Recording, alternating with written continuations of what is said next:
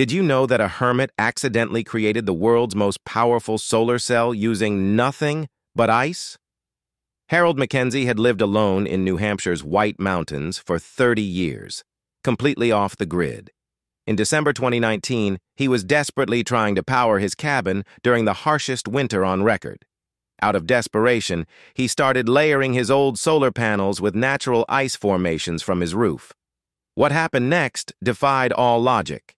The ice crystals acted like tiny magnifying glasses, focusing sunlight into laser-like beams that supercharged his panels.